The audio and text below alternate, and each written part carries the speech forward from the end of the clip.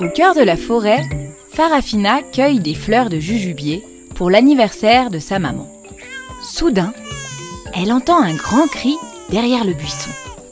Ah, horreur Un serpent s'apprête à avaler tout cru un petit bébé tout nu. La courageuse Farafina saisit un gros bâton et ping D'un grand coup sur la tête, elle tue le serpent. Le bébé est sauvé. Seul et abandonné dans la forêt, mais ce n'est pas un endroit pour un tout petit comme toi. D'ailleurs, maman répète toujours que ses enfants sont ses trésors. Elle sera comblée pour son anniversaire. Après avoir emballé le bébé dans un écrin de feuilles et noué le serpent autour en guise de ruban, elle rentre à la maison. Maman est enchantée par le cadeau, mais lorsqu'elle ouvre le paquet et découvre le bébé, oh, elle reste sans voix. N'est-il pas superbe? Et Farafina raconte son aventure. Farafina, tu as été très courageuse, je suis fière de toi.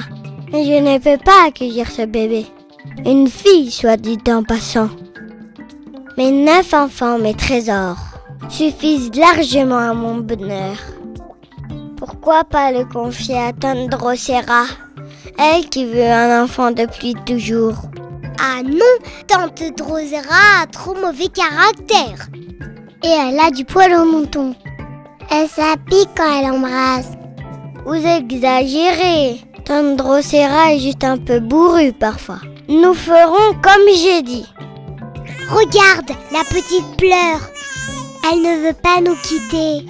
Mais non, elle pleure parce qu'elle a faim. Alors donnons-lui à manger. Tante Drosera ne supporte pas les bébés qui pleurent. Bon, bon, on donnera un seul biberon à ce bébé. Tu m'entends? Oui, oui, maman. Le bébé boit goulûment. Les neuf enfants le regardent émerveillés. Comme elle est mignonne.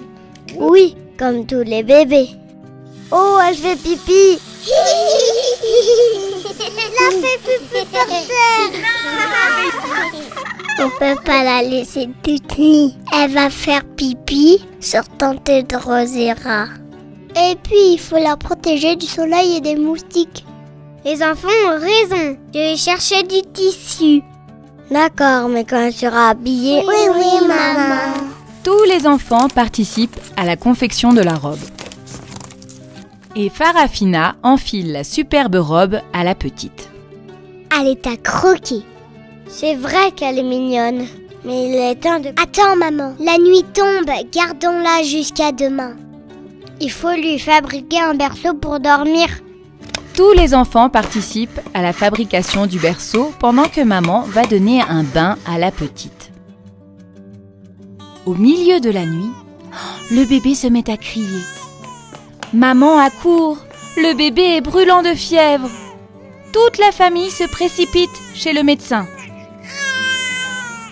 Alors, docteur Soyez sans crainte, elle va vite guérir. Vous comprenez, nos enfants sont, sont nos trésors. Maman serre tendrement le bébé contre son cœur. Les enfants, vous avez gagné une petite sœur. Hurrah Farafina, comment veux-tu l'appeler? Jujube. Tandrosera sera content d'être la marraine d'un si joli bébé.